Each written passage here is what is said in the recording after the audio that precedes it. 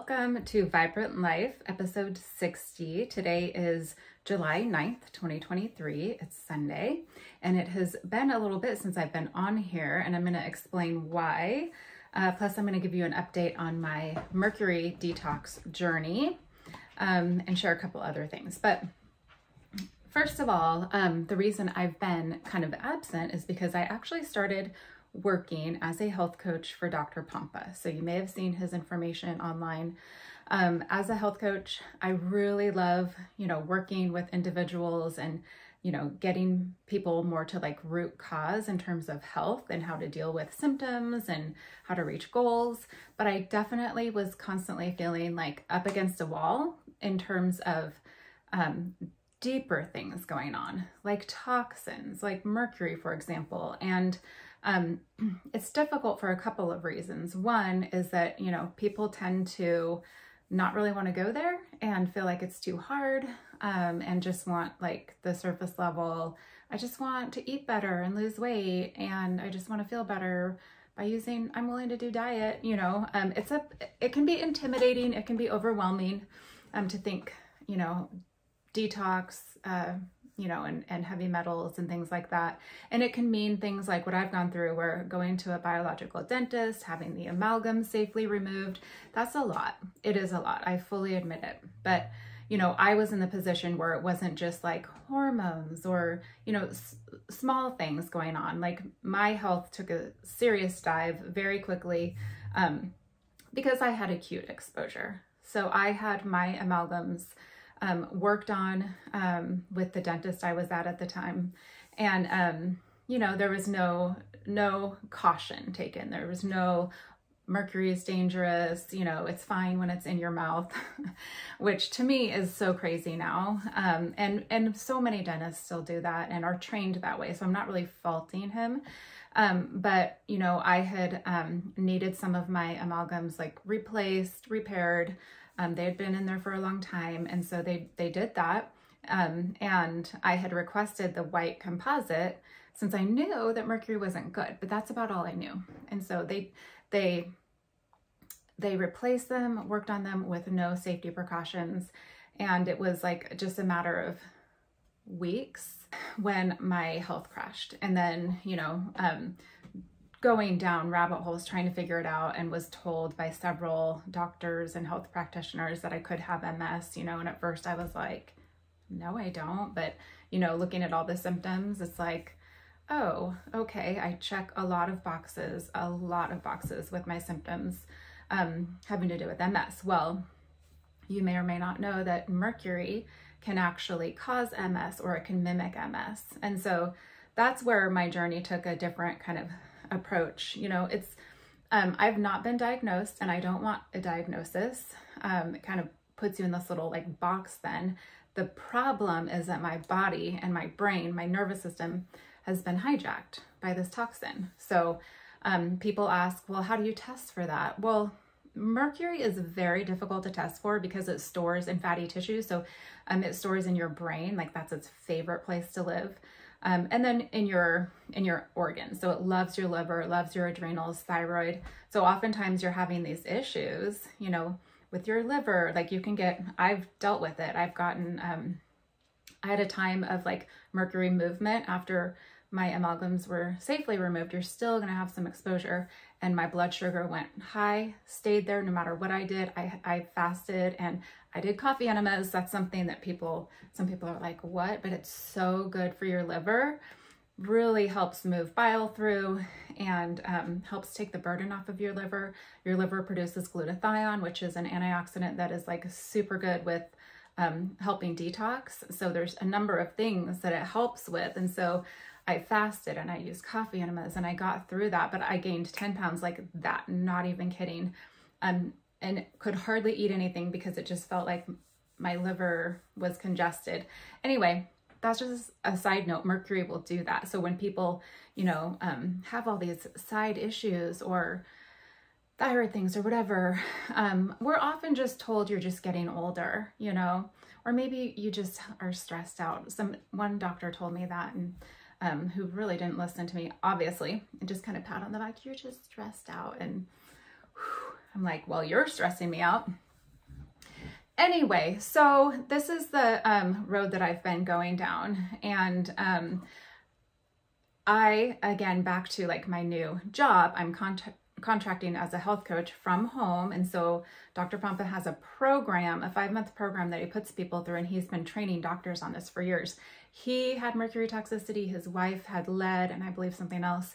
His kids have dealt with things. I mean, we're inundated so much, you know, from our environment constantly, whether it's heavy hitters like these big metals or other things like in our air and water and food and all that, right? So it's like just coming at us.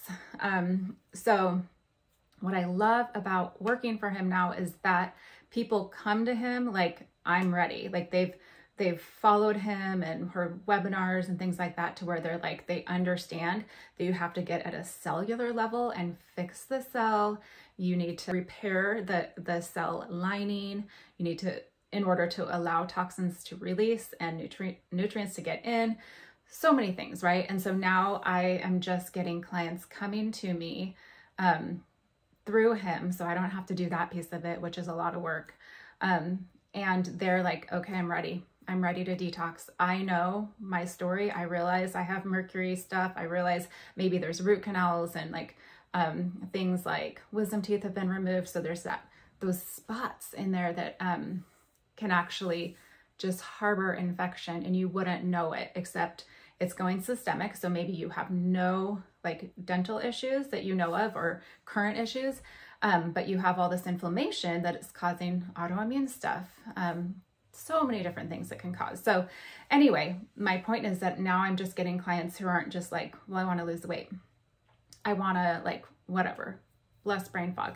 I'm getting clients who are like, I realize that I have some some big things that I need to detox from and I'm ready. And so our approach is diet for sure, lifestyle, we look at daily toxins. Um, but um, yeah, we, we do this protocol that takes you down that journey. And so I wish I, I followed Dr. Pompa for a long time. And one thing that brought me to him was um, his journey. And um, I realized this guy gets it because you have to be very, very careful and specific with mercury. And I've heard so many things like just use cilantro and, you know, throwing these things at it, which can um, move mercury in your body, but it's not going to pull it out. And so it can make it way worse. And I can't like stand the amount of times I hear it from people, like doctors even, who just don't understand. And I really think that if you haven't necessarily gone through mercury toxicity, that's part of the problem. Like you don't realize. Um, but um, I've had people ask me, so this, um, the mercury detoxification manual, um, so this is Andrew Cutler's book, and this is something that I started with, and I was like, this is the protocol I need. Um, but I also, um, it took me some time to get ready. It's daunting, you know. Um, and then I had that experience with um, getting some mercury out through the um, safe removal, and that was kind of like a lot to deal with. I did get it under control pretty quickly um, when my liver was in distress and all that, um, thankfully. But I needed a little bit of time, I think, um, after that, and just like to let my body rest. But then I got involved with Dr. Pompa's um, program. And so I'm going through his protocol as a coach. And I am in, there's three phases there's prep phase, there's um, body phase, and brain phase. And prep phase is four weeks of um, taking certain supplements and um, we decide on a diet together that will work at the very least. It's removing sugar and processed garbage. I'm really focusing on organic as much as possible to really remove those harmful pesticides, uh, especially glyphosate that's like in everything. Um, so we really focus on that. And then we move to like tightening it up and like less carbs, um, less grains, and then tighten it up even more, and no grains. And anyway, so there's a lot of diet variation. We use keto a lot, in and out of things like that. Um, but the whole goal isn't like this one nutritional approach, but it's basically doing what your body needs in order to uh, reduce inflammation and help support those detox pathways. So we do that, and then that's what the supplements are for. They're very targeted to, again, healing the cell, um, healing the gut, supporting the gut, um, and then reducing inflammation. So there's a month of prep phase and then body phase. You still do all of that stuff, Plus, you add um, a like three different things that help you to pull toxins out of your tissues. And then we're very careful about pulling them all the way out, not just out of your tissues and recirculate. Um, and then the last phase is brain phase, where then you start to use chelators, which actually pull them out of your brain. But the wonderful thing is you've done so much work to prepare your body. And that's one reason I think I may have had an issue um, after that biological dentistry um, appointment is that I didn't do any of that. You know, I really wasn't um, supporting my body in its detox pathways. You know, I did some small things, but mm, not enough. Um, and so I think that was part of the problem that my my liver was like, whoa, got all this mercury coming through, and this is freaking difficult. So um, that's you know what where I'm at right now. I've just started brain phase. Super excited to be there. I had a little issue this weekend, and this is no reflection on Dr. Pompa's program because I am my own coach. And so I get to decide certain things, right? Like how much of what I'm going to take. It's very, very individualized in that aspect. You always listen to your body, and you know, sometimes we need more of something, sometimes we need less of something. But um, a couple things that you take are DMSA and then ALA. And you can just do ALA, and that's what's really pulling it out of the brain, but sometimes you take DMSA as well. Anyway, so I believe that I used too much ALA. And what happens is that mercury, when it's moving throughout your body, it actually kicks up histamine. And, and your liver is in charge of like working through the histamine, um, I guess metabolizing it. And so I, well, I spent the weekend, you probably, you probably can't really see. It is getting better, but since um, Friday, I've had hives all over. Um, my eyes were bad. They're getting so much better. You can still see a little bit, but my eyes were just, you know, and my lips this morning, it looked like I had gotten lip injections. like, and I wouldn't get lip injections. So, um, all over my body. And when I say head to toe, I literally literally mean head to toe. Like I can feel, um, they're less now, but on my head, down my neck, in my ears, all the way down my body. Um, I'll just be a little TMI and, and show you. Um, that's where I'm at right now. But um, it was all over, all over. I usually teach a class on Sundays at noon and thought yesterday it was getting better and I thought, oh, I think I'll be able to do this. I've been taking Benadryl and doing things like uh, quercetin is great for allergies. I've been doing that, been doing high doses of vitamin C. So I felt like yesterday, like by evening time, I was pretty good and I thought I'd be able to teach my class. Um, but then during the night last night got really bad. And um, so I did go to uh, urgent care today just to get something to like stop it because it actually, when I, again, say head to toe, bottoms of my feet even. I did not even know hives did that. I've never really, I think I had one small hive kind of reaction uh, after my son was born and I got put on penicillin because of mastitis. And so penicillin is something I can't have it was really small compared to this.